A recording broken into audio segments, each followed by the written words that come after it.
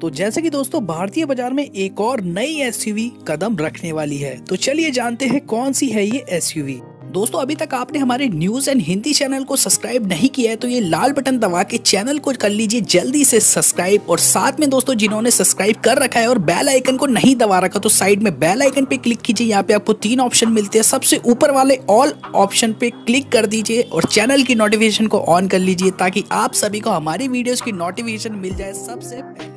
तो दोस्तों, भारतीय ऑटोमोबाइल बाज़ार दुनिया के सबसे तेज़ी से बढ़ते हुए बाजारों में से एक है। हाल ही में भारतीय बाज़ार में इस समय एमजी और किया मोटर्स जैसी कई अन्य कंपनियों ने दस्तक दे दी है।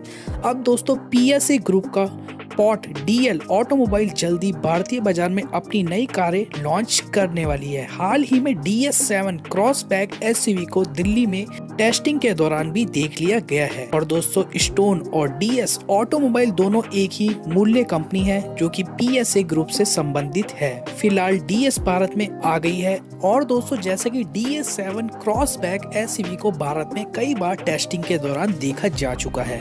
अब दोस्तों फाइनली इसको भारतीय बाज़ार में 2020 फैब में होने वाले ऑटो एक्सपो के दौरान हम सभी के लिए पेश किया जाना है।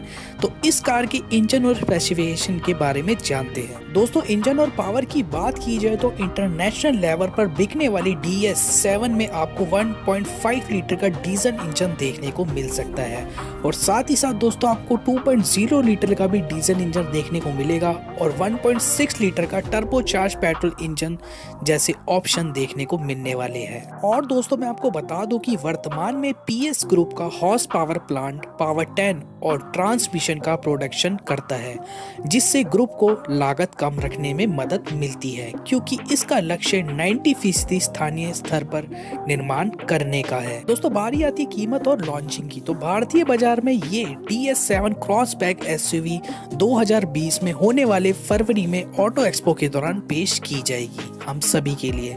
और कीमत की बात कर ली जाए तो दोस्तों D S seven crossback S की स्टार्टिंग एक शोरूम कीमत मात्र दोस्तों 5.80 लाख रुपीस से रखी जाएगी। वही इसके टॉप वेरिएंट की बात करें तो दोस्तों, वो 8.70 लाख रुपीस तक जा सकता है।